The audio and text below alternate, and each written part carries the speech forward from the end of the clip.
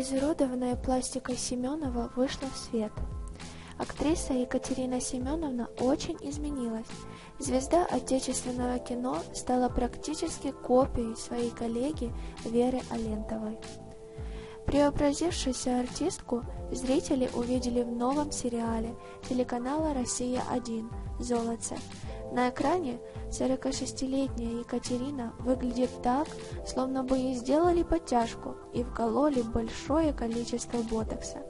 В сериале Семенова играет роль взрослой женщины, но узнать ее очень трудно, пишет сайт argumentary.com. Поклонники актрисы уверены, что над лицом их любимицы поработал тот же хирург, что испортил внешность Алентовой. Смотрите, как верхняя губа вверх поднялась, ботокс, лишняя подтяжка, линия подбородка изменилась. Может, делала подтяжку?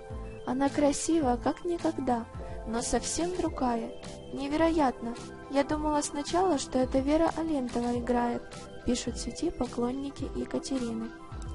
Как писали дни.ру, последнее время Вера Алентова куда более известна своими экспериментами с внешностью, нежели работами в кино. Блогеры, с сожалением, отмечают, что от красоты актрисы не осталось и следа.